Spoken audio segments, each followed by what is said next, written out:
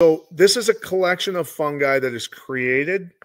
Uh, the my the mycelium diversity is created by a gentleman who is half Hopi Indian, actually, um, in the Four Corners region, and it is uh, the most diverse and most. It's when you see when you see mycelium growing on pine needles uh, in his piles and stuff, like you Mhm. know he knows what he's doing, right?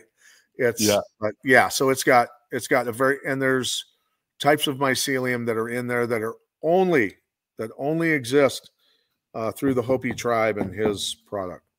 So Yeah, exactly. It- I've installed just the mycelium in people's gardens and land, and the network underneath. If you, uh, what- like at the end of the season, pull a garden plan out, the Mhm. network in there is it's it's beautiful. It's beautiful. Oh, So, it's the computer system of life on this planet.